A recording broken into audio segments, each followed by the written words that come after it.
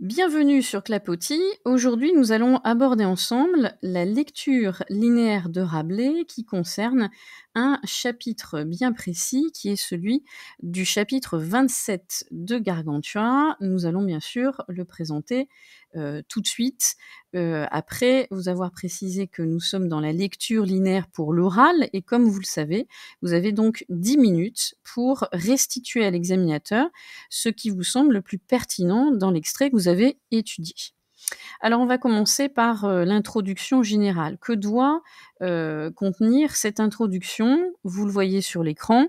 Vous avez donc un rappel de l'objet d'étude. Vous présentez rapidement une biographie donc succincte de Rabelais. Euh, vous situez l'extrait dans l'œuvre. On va le faire tout de suite après.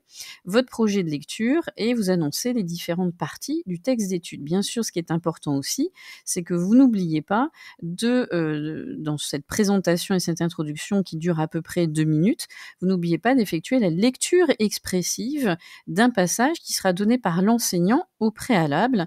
N'oubliez pas que cette lecture expressive coûte donc euh, deux points sur l'ensemble de vos 20 points attribués. Alors, on va donc euh, donner un petit élément nécessaire pour votre introduction générale, la fameuse contextualisation du passage, c'est-à-dire euh, où se situe-t-il précisément. Il faut savoir que euh, ce passage fait référence à la guerre Picrocoline, qui est le fameux conflit qu'il y a entre Grand Gousier, le père de Gargantua, et son voisin Picrocole, un ancien ami de longue date, mais avec qui il s'est fâché depuis. Et ici, dans ce passage, nous avons l'attaque de la ville de Seuilly, qui est pas loin justement de ces lieux stratégiques autour de Chinon en Touraine et les assaillants donc arrivent à l'abbaye de Grand Gousier, de ces vignes, qui sont protégées bien sûr par le fameux frère Jean des Entomeurs, le fameux moine au portrait assez cocasse comme on va le voir. Ici, il s'agit de montrer surtout une critique euh, sous le rire, donc joyeuse, du monde religieux, et on va voir ensemble quelle est la tonalité justement euh, qui se dégage du combat, et on va évoquer ce fameux registre burlesque ensemble. Alors, petite précision aussi, euh, qui sont les protagonistes? Eh bien, nous avons les bergers, les foissiers et le frère Jean, et puis les bergers qui sont du côté de Grand Gousier, qui s'opposent aux foissiers, qui eux appartiennent plutôt à euh, l'équipe, si on peut dire comme ça, de Picrocol. Donc voici les protagonismes. Allons voir ensemble comment se met en place cette fameuse bataille entre le frère Jean et les assaillants de l'abbaye. Alors on pourrait considérer que dans ce passage, on a un premier mouvement qui irait de si l'un d'entre eux jusqu'à il le roi de coups. On va donc s'intéresser à ce passage ensemble et comme pour les autres explications, on va essayer de faire ce qu'on pourrait appeler un zoom stylistique pour en dégager l'essentiel. Ici, vous avez plus particulièrement une parodie du combat épique avec l'utilisation du registre burlesque. Dans ce premier mouvement, en effet, il s'agit de montrer la dimension propre au rire, si cher à Rabelais. On a effectivement affaire à une véritable donc parodie. Et euh, arrêtons-nous un petit peu sur la notion de burlesque pour que vous le précisiez bien à l'examinateur le jour de l'oral. Euh, l'écriture burlesque ou le registre burlesque euh, est avant tout un registre qui s'appuie sur la farce et la plaisanterie. C'est un registre littéraire qui est bien souvent caractérisé par l'emploi de termes comiques, familiers, pour évoquer des choses nobles et sérieuses, et ici, en l'occurrence, on évoque une guerre. Alors, dans son premier mouvement, on a tout d'abord la tournure euh, hypothétique si, vous le voyez de couleur jaune, qui est répétée à trois reprises, et qui montre comment le frère Jean est capable d'être alerte dans différentes circonstances de bataille, ce qui lui confère donc déjà le statut du héros extraordinaire, un peu à part. Et ce qui va faire sourire le lecteur, euh, c'est la chute, si l'on peut dire ainsi, de chacune de ces phrases qui sont introduites par la tournure hypothétique. Regardons la première. Euh, on a il lui écrabouillé euh, l'épine. La deuxième, euh, que vous voyez donc des, couleurs orangées, il le frappait. La troisième, il l'empalait par le fondement avec son bâton.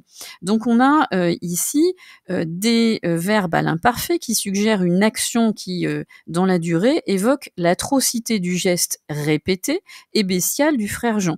Et on pourrait presque dire qu'il a aussi un jeu poétique avec les allitérations en R, donc euh, écrabouillé, frappé, qui suggère le bruit de la scène et le côté très sanglant euh, et donc très visuel que l'on va voir ensuite tout au long du récit.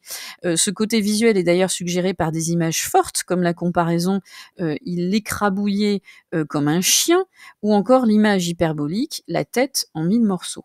Pour compléter le côté très visuel de la scène, rappel, euh, Rabelais pardon, prend soin aussi de rajouter des descriptions anatomiques, qui est un petit clin d'œil aussi à son parcours euh, en tant que médecin hein, qu'il a effectué. On retrouve l'importance aussi du corps dans le récit de Gargantua.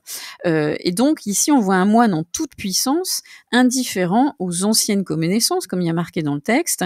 il est marqué par sa force physique, son intransigeance morale à l'égard on pourrait dire plutôt à l'encontre des autres, ce qui est d'ailleurs euh, renforcé euh, par l'emploi du discours direct qui rend encore plus présent le personnage et son côté intransigeant. Face à l'imploration effectivement de cette vieille connaissance, il se révèle implacable et vous noterez dans le discours direct l'usage de la phrase affirmative exclamative qui dévoile toute son autorité et le futur catégorique tu rendras montre euh, sa décision irrémédiable de donner la mort. L'adverbe, vous pourrez le souligner aussi, subitement, par sa longueur et le passé simple roi, euh, roi de coup, représente euh, presque la touche finale du combat, c'est-à-dire le coup fatal qui va aboutir à la mort de l'adversaire. Voilà pour cette entrée euh, presque burlesque hein, du, personnage euh, qui fait sourire euh, le lecteur, mais qui peut aussi lui faire quelque peu peur. Alors le second mouvement irait de et si jamais un téméraire jusqu'à que l'on ait que l'on n'ait jamais vu pourrait donc être balisé de la façon suivante. Et ce second mouvement confirme le portrait du moine qui est en action et surtout sans pitié. On a une véritable mise en scène qui est bien loin de la figure traditionnelle du moine tout dédié à ses prières.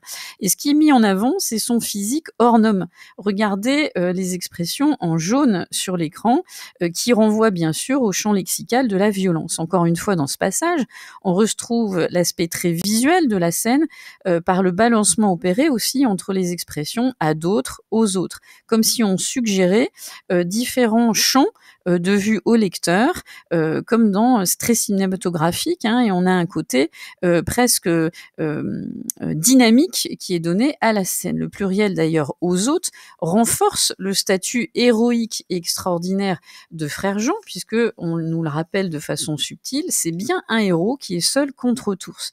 Et l'adverbe immédiatement renforce aussi la rapidité de ses gestes. Ils sont magistraux, ils suggèrent une parfaite maîtrise dans l'art de tuer l'adversaire.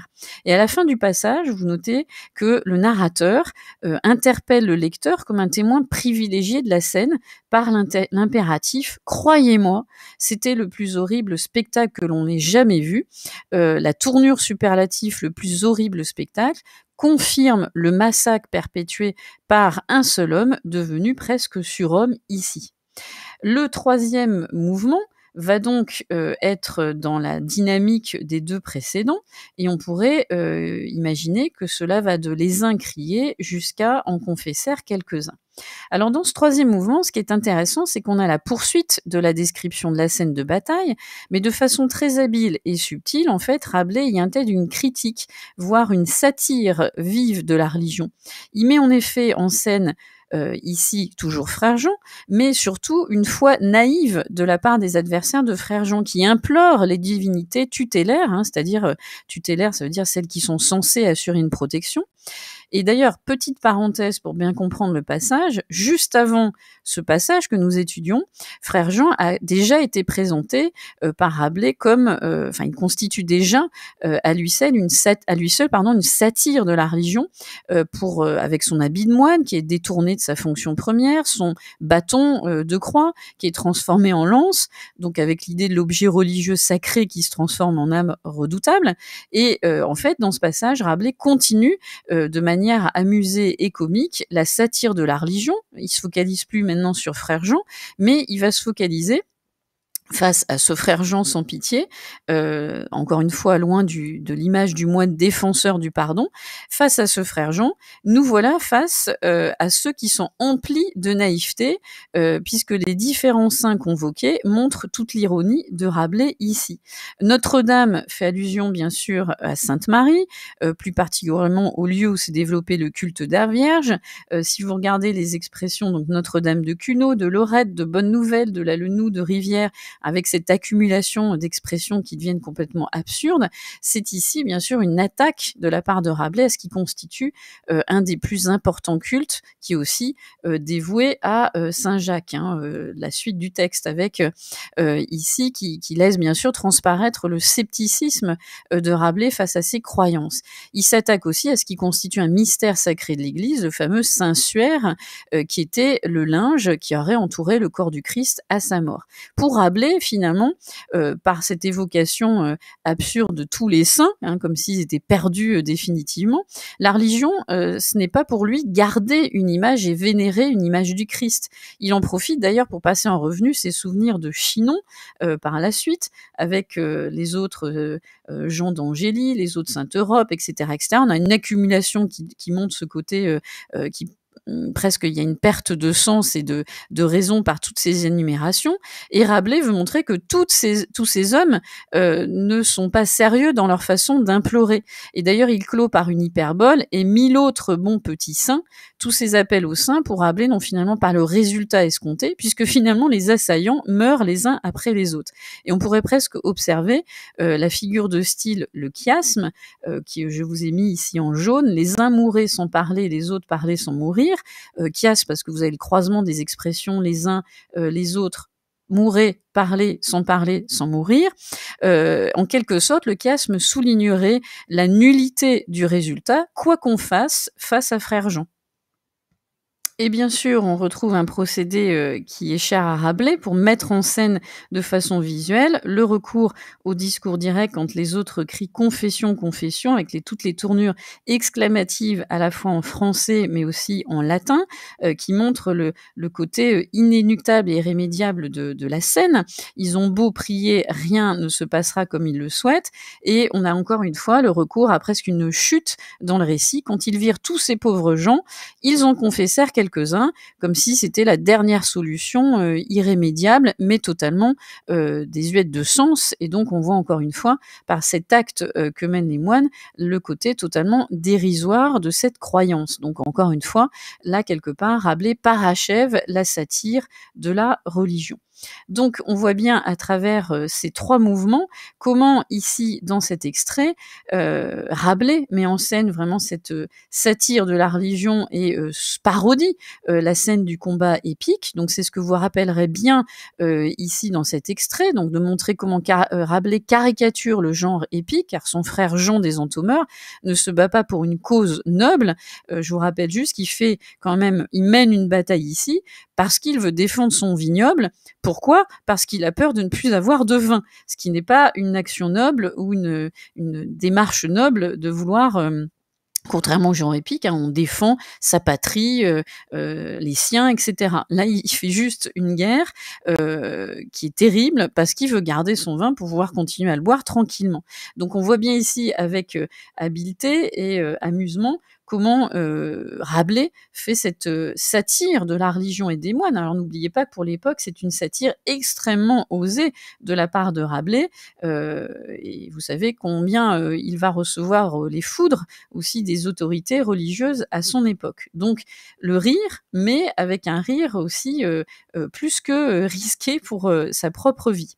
Donc voilà ce que l'on pourrait dire sur ce passage. je vous souhaite bien sûr de bien prendre en note, de réécouter, de bien regarder aussi les passages clés, les procédés stylistiques qui vont donner du sens à votre explication linéaire euh, lors de l'oral, qui, euh, je vous rappelle, doit durer 10 euh, minutes. Alors si vous êtes entre 9, 8, 9 minutes, hein, c'est parfait. N'oubliez pas justement de bien vous référer au texte. Vous ne pourrez pas bien sûr dire tous les procédés stylistiques, c'est évident, mais essayez de bien montrer la teneur majeure que vous allez faire émerger du texte, à savoir cette fameuse satire par le biais du détournement du combat épique. Donc je vous souhaite une bonne préparation de fiches, de révision et un bon entraînement à l'oral. À très vite